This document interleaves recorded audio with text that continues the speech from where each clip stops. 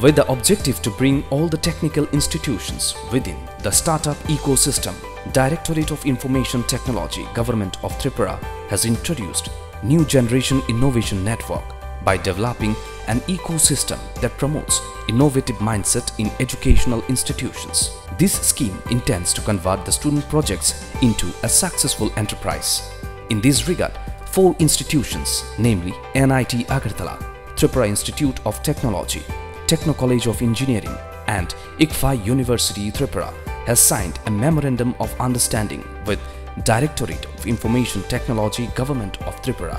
Under this scheme, DIT has provided grant of rupees 10 lakh to each institution for setting up of well-furnished incubation centers. DIT has also provided rupees 5 lakh to each institute to fund 5 best student projects during the financial year 2021-22.